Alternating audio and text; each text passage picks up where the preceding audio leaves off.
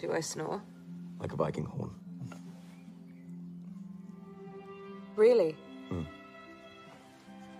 You know you make these whimpering puppy noises when you sleep. That's not true. Are you serious?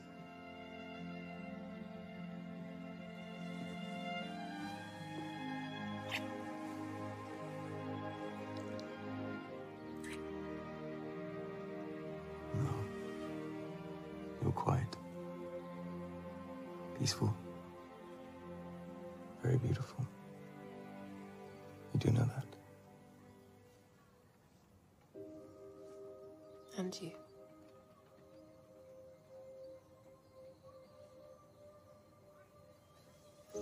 Don't say it. You can't go.